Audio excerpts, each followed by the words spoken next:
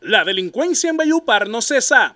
Los tripulantes de una ambulancia fueron asaltados por delincuentes que lo interceptaron cuando se disponían a atender una emergencia, luego que fueran alertados de unas personas que resultaron heridas en un accidente de tránsito que se registró en la carrera 27 con calle 47 del barrio El Oasis al sur de la capital del Cesar. Tanto el conductor del vehículo como el paramédico fueron despojados de sus celulares luego que los ladrones lo intimidaran con cuchillos. El temor se apoderó de las víctimas, quienes por miedo a que tentaran contra sus vidas, entregaron los elementos de valor.